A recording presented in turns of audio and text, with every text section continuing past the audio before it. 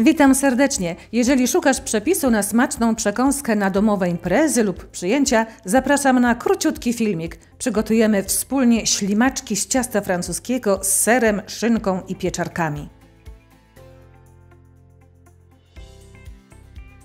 Na oleju podsmażamy pokrojoną cebulę przez minutę.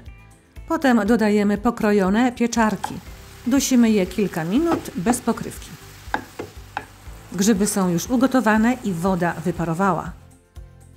Ciasto francuskie wyciągamy z lodówki i rozwijamy je delikatnie na stole. Teraz rozsmarowujemy serek typu Philadelphia. Zamiast serka można położyć cienkie plasterki żółtego sera. Następnie układamy plasterki szynki a na nich pieczarki.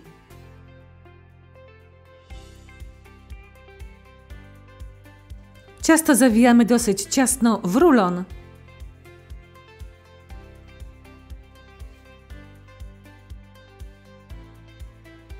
I kroimy na kawałki o szerokości 3 cm. Układamy na papierze do pieczenia.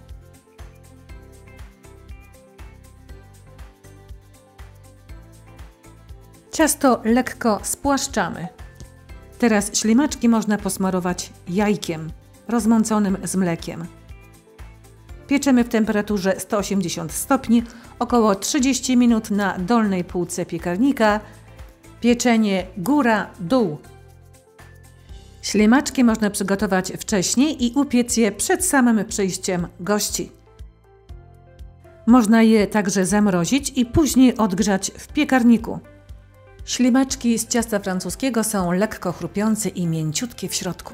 Są bardzo smaczne i bardzo popularne. Zrób ją także Ty na Twoją imprezę. Życzę udanej zabawy i zapraszam na następne filmiki. Ciao, ciao!